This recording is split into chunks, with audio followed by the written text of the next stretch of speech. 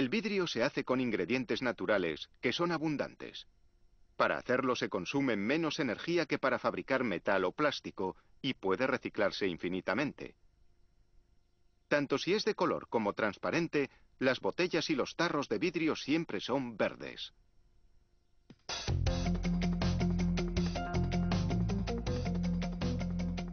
La receta del vidrio combina varias materias primas naturales.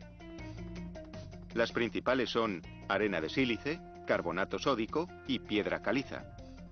La arena de sílice normalmente supone el 45% de la mezcla.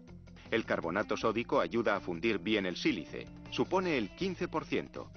El contenido de piedra caliza en un 10% hace que el vidrio terminado sea más duradero. Estos ingredientes se mezclan también con vidrio reciclado.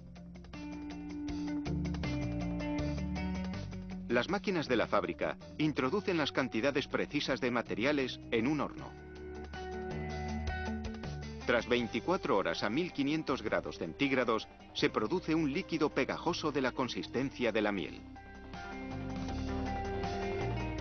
El vidrio fundido sale del horno. Unas cuchillas cortan el flujo a intervalos precisos para producir globos cilíndricos.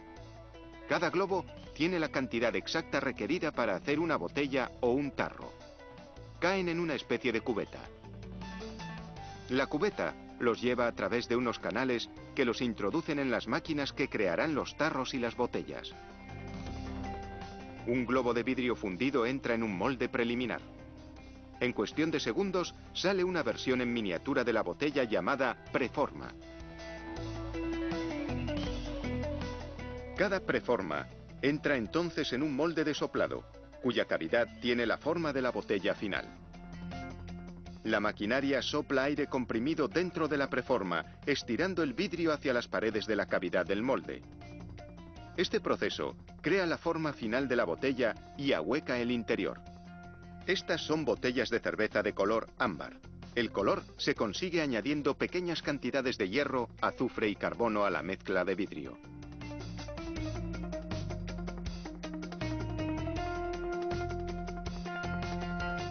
Para hacer otro tipo de botellas y tarros, se sigue un proceso similar de fabricación. En este lote, el producto fabricado son botellas de vino de 375 mililitros, hechas con vidrio transparente. En este lote se producen también botellas de vidrio transparente.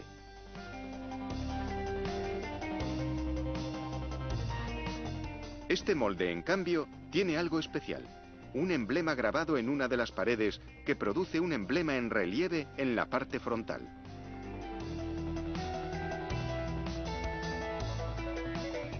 Cuando las botellas salen del molde, pasan por unas llamas. De lo contrario, se enfriarían demasiado rápido y se agrietarían debido al cambio térmico.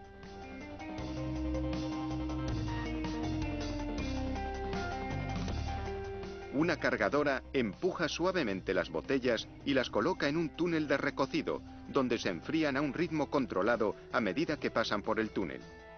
Esto elimina gradualmente la tensión del vidrio.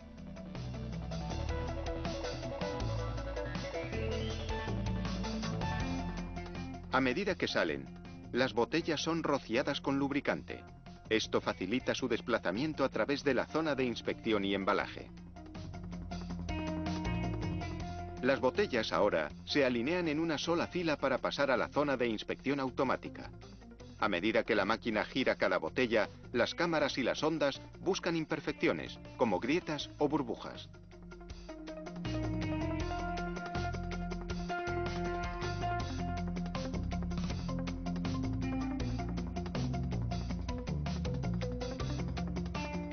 El equipo de inspección examina la parte superior, para verificar las dimensiones y asegurarse de que la rosca para el tapón se ha moldeado correctamente.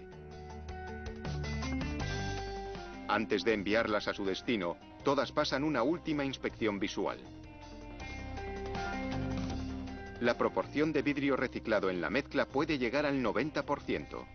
El vidrio reciclado se funde a una temperatura más baja, así que por cada 10% de vidrio reciclado en la mezcla, la fábrica gasta un 2,5% menos de energía para producir su vidrio.